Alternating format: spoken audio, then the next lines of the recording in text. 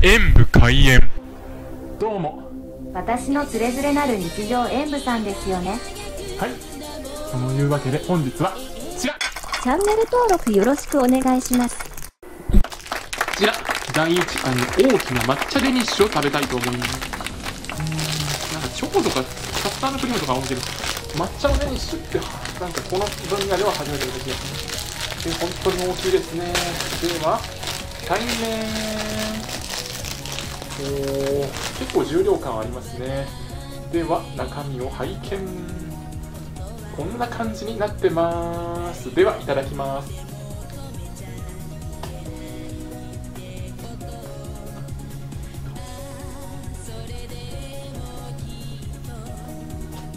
抹茶の風味がしっかり感じられて濃厚でとろけて美味しい。けど少しな部分もあるな。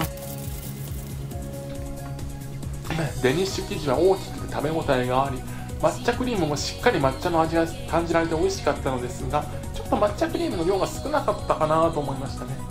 デニッシュ生地が美味しいのでもうちょっと抹茶クリームクリームも感じたかったなと思ってた部分なんですがちょっと残念でした。なのでこれはこちらの点数とさせていただきます。欲張りなのかなそれで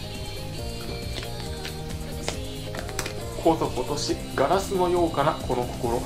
人の心は繊細と言いますがこそ今年そうなんとかしなきゃいけないのかもしれませんね。ご視聴ありがとうございました。コメントしていただけるとそしてよろしければ他の動画も見ていただけ動画を拡散していただけると嬉しいです。演武天演パソコンおよびスマートフォンのアプリの方はクリックをお願いします。